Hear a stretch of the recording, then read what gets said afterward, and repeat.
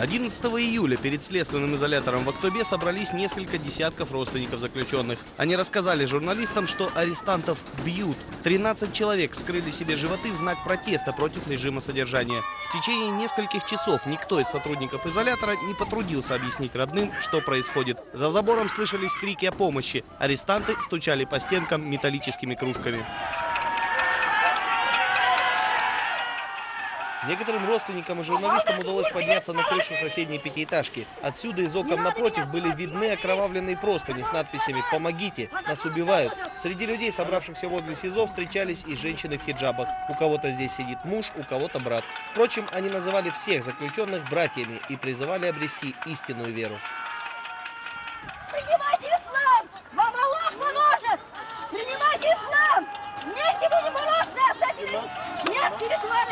Представители СИЗО все-таки вышли на переговоры с родственниками. Им сообщили, арестованные требуют ослабить режим содержания, разрешить пользоваться мобильными телефонами, отключить блокираторы, свободно передвигаться по зоне. Когда администрация отказалась выполнять эти требования, заключенные объявили голодовку и вспороли себе животы. Родственники утверждают обратное. Галине Петуховой из следственного изолятора позвонил сын Александр. Он рассказал, что заключенных избивают, у них нет воды, забилась канализация, в камере по 11 человек и нет даже матрасов. В изолятор Галину запустили, но увидеть сына ей так и не удалось.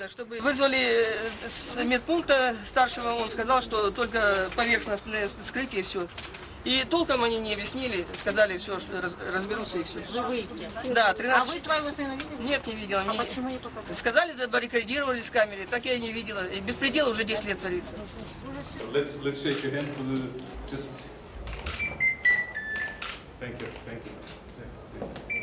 Пока актюбинские силовики спешно собирали спецбрифинг и подтверждали, что условия содержания в изоляторе номер 5 соответствуют нормам, правительственные чиновники принимали высокого гостя. Нави Пиллей, верховный комиссар ООН по правам человека, начала свой двухдневный визит со встречи с министром иностранных дел Казахановым в Алматы. Прессу ограничили протокольными съемками.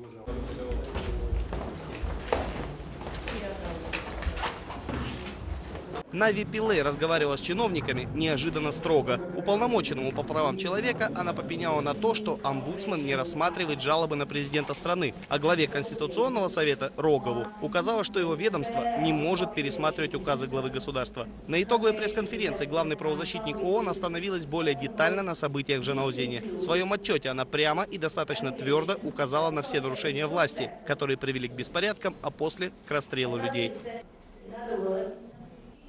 До сих пор непонятно, кто отдал приказ стрелять в толпу и для чего это было сделано. Фундаментальный вопрос. К стрельбе привели именно действия забастовщиков? Было ли это необходимо и адекватно со стороны правоохранительных органов? Сколько из тех проблем, признанных правительством, являются системными? И существует ли подобная ситуация в других отраслях? Я думаю, что репутация Казахстана очень вредит столько неопределенности по такому серьезному поводу, который привел к стольким жертвам. 30 из 37 обвиняемых в Жанаузенском процессе заявили на суде о том, что показания из них выбивались под пытками. Записывать это на видео журналистам и правозащитникам запрещали. Однако страшные рассказы нефтяников об издевательствах силовиков, о том, как их избивали, заставляли раздеться до гола и лечь на бетонный пол, угрожали насилием и физической расправой над их семьями и близкими, разлетелись по всей стране. Рассказ Александра Баженко, переведенного из обвиняемого в свидетели, одно из немногих видеосвидетельств пыток. 18 числа поймали меня возле почти дома, ОМОНовцы, там солдат. Завели валан, потом в газель, избивали, били. Потом в гараж завели, я почти э, с 11 до 8, до 9 вечера ночи я сидел без обуви, э, в носках в воде. Били меня, мне кисть сломали, сидели там и ждали. В этот момент нас голоду заводили, по почкам били. Вот, что я еще могу добавить? И всех других тоже били. Конечно, всех били. Мы бандиты, мы свой город убили.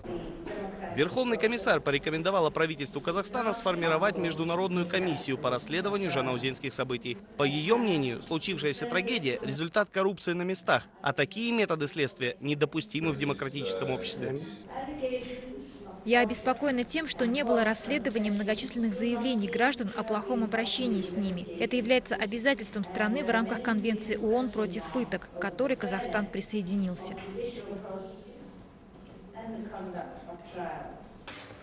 Казахстан присоединился к Конвенции против пыток в 1998 году, а в 2002 пытки стали уголовно наказуемы. Тем не менее, по данным коалиции неправительственных организаций Казахстана, количество обращений от граждан за последние пять лет выросло три раза. В 2011 году их было уже 411. Большая часть это жалобы на сотрудников полиции. Тем не менее, в прошлом году по статье пытки было возбуждено всего 13 уголовных дел. По данным правозащитников, как правило, обвиняемые в пытках проходят по более мягкой статье – злоупотребление служебным положением. Администрация учреждения угрожали мне, что загонят в гарем, добавят срок. Меня бить, начали бить Ахмед, Уркимбаев был там, которые били меня. И вот э, Курманов били меня.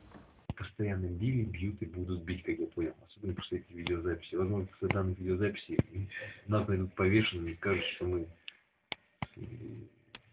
сами себя повесили. Ну, я думаю, этого не стоит верить, потому что нам охота жить. Как бы нас не били, но жить все равно охота. Приезд Верховного комиссара по правам человека в Казахстан – инициатива местных властей. Казахстан подал заявку на 2013 год на вступление в Совет по правам человека. И ему необходимо укреплять пошатнувшийся международный имидж, говорит правозащитник Евгений Жовтис. Несмотря на очень высокий ранг гости, Верховный комиссар по статусу – заместитель генерального секретаря ООН. К ее жестким выступлениям правозащитник относится скептически. Само по себе Верховный комиссар ООН – это фигура, которая может давать только рекомендации, может что-то предлагать и так далее. То его, его э, не назовут это решение, а его документы, они носят такую э, рекомендательную силу, и поэтому страна не обязательно должна им следовать. Другой вопрос, что когда страна является членом ООН, когда страна ратифицировала вот эти пакты, когда страна принимает Верховного комиссара, то это накладывает определенные морально-политические обязательства. Важная часть выступлений комиссара ООН – создание Международной комиссии по расследованию жанаузенских событий. Однако председатель Совета Казахстанского бюро по правам человека в это верит слабо. Подобные инициативы ООН в странах Центральной Азии уже были после андижанских и ожских событий, но успехом не увенчались. Нет надежды на то, что Казахстан станет позитивным примером и пойдет навстречу международным организациям. Тем более, что с момента событий прошло полгода и уже вступили в силу решения судов. Все реверансы первых лиц государства перед Верховным комиссаром ООН завершились жесткой отповедью. В пятницу МИД распространил официальное заявление, в котором не согласился с оценкой событий в Жанаузене, сделанной Пилой. Упирая на то, что право на жизнь и обеспечение безопасности общества остаются фундаментальными ценностями, а объективную оценку событиям уже дали международные эксперты и правозащитники, присутствовавшие на открытых судебных процессах. На наш взгляд, Верховным комиссаром ООН по правам человека госпожой Пиллей была дана однобокая оценка в Жанаузене, несмотря на исчерпывающую информацию, представленную в ходе встреч с официальными лицами Казахстана.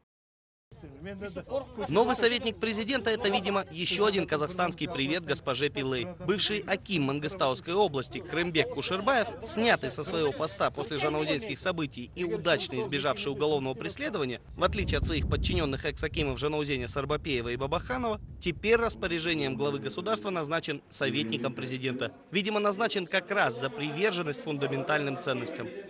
Диас Акбаев, Павел Ингельгард, Алматы, Казахстан.